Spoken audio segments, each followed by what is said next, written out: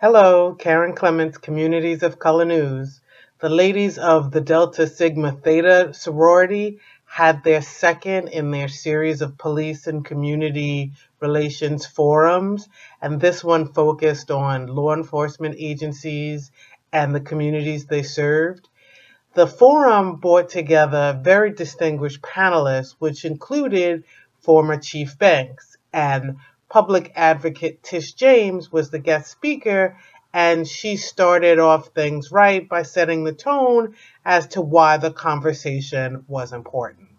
Um, there's an urgent need for police and criminal justice reform.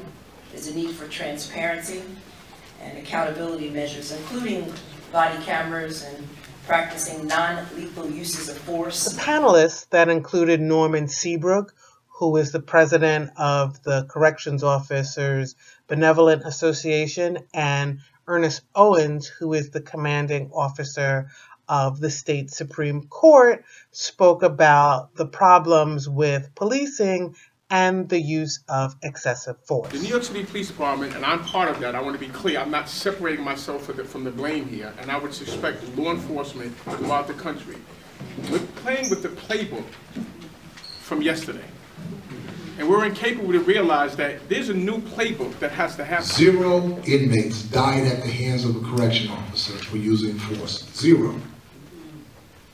But you want to target the correction department. I think that's a little bit disingenuous. We don't have guns in jail. We don't have these war uh, gang, uh, what do they call it, gangbangers that we walk around like thugs. We do what we're supposed to do, but we have the right to defend ourselves. We have a right to defend another inmate.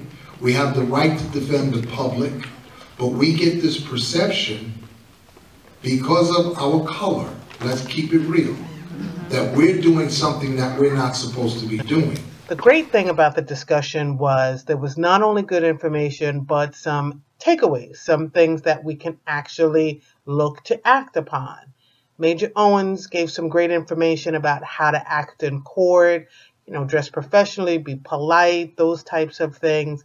He also had some interesting information about the challenges they were having about hidden cameras and filming of testimonies and rival gang members.